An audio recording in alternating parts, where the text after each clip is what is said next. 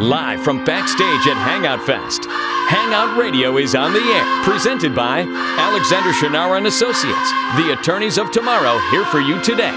Cyclops Vapor, legendary e-liquid, Jenny King of the Gulf Coast, GulfQuest National Maritime Museum, and brought to you in part by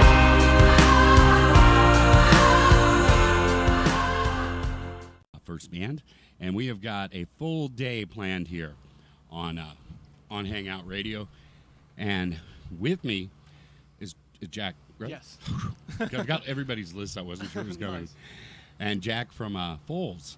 Now, you guys got together in Oxford, England. Is Yes. that where you all, all of you are from? Yes, we did. Did you guys grow up together, or was it? Um, I met Yannis when I was about uh, 17. He's uh, he's our singer, and uh, we were in a band, uh, kind of more of a punk band, um, very sort of experimental, uh, sort of math math rock kind of thing. Mm-hmm. Uh, when we were 17, 18, uh, and then I met I met Walter at college, and then we kind of all sort of kind of met around that time, um, and we've you know it's been the same same bunch of guys since 2006 now. Really? Yeah. And you guys have uh, four CDs out. Is that true? Yes. Okay, and plus some extended mixes and Yeah.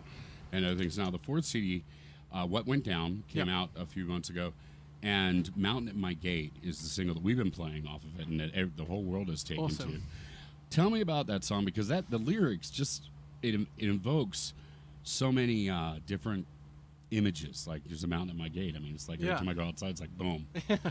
Um, well, that song kind of um, like the main um, uh, like uh, sort of verse section um, that the song starts with. Yannis, uh, he it's one of those things that came totally naturally. He just he just wrote it, and it was like, I've got this thing, um, and it took a while to to work out how we were gonna turn this one part into a song, and we had another. Um, we were kind of working on another song actually, which ended up being the sort of end section where it builds and gets super fast. Right. And we were kind of like, okay, so we haven't got we haven't got an end for this song, and we haven't got a beginning for this one, and we tried it together, and it just felt super and right. That's how it kind of came Yeah. together. Were they both in the same key when you put them? uh, I believe they were, but you're asking the drummer, so that's probably not the best guy to ask.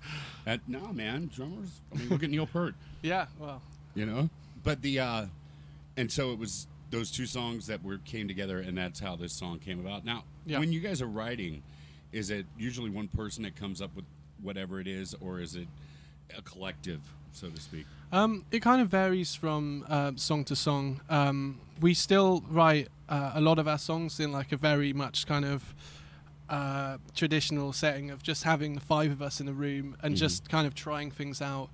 Um, but a lot of songs start in you know totally different ways. Like in the past, a few songs like uh, Miami off our second record came from a drum beat that I'd been playing around with, and then we started jamming it, and Yannis and Jimmy were just putting guitar ideas down, and then that just kind of came together. Sometimes, uh, especially with the slower songs, like Yannis and Jimmy will uh, come up with a chord sequence, and sometimes even on the on the Rhodes piano, um, and it's super simplistic, and then we kind of build on top of that. Um, and then we just mix it up with different combinations of the band members working together at, at different times. So it, there's no like real like formula for the way we write. what about when you tour who comes up with the set lists usually I feel like we argue about set lists a lot more than a lot of bands that are, you know 11 weeks into a tour do. Yeah, I feel you know no one's like I'll do whatever, who cares? It's always right down to the last minute. It's like, well, this worked last night, but this didn't. Let's try this. Tr- try moving this around. Um, I do feel like we spend a lot of time trying to sculpt the shape of the set, the set, so it's kind of its most exciting, you know, presentation. now you guys are playing tonight at 9.15 in the boom boom tent Yes. have you decided what set list you're playing tonight Well, I think because we're playing in quite a predominantly dance music tent, I think we're going to have to sort of up the energy levels to maybe a set that we might normally play. I think we might add a few sort of heavier, faster songs in just to get the crowd really sort of juiced up. You getting know? it boom booming Yeah, it's got to go boom booming. yeah, sure. drummers love that right yeah, I mean, it's my favorite thing. well, awesome now have you guys played hangout before have you played the southeast much? No, um, this is our very first time uh, at this festival. Um, we, I don't think we've played.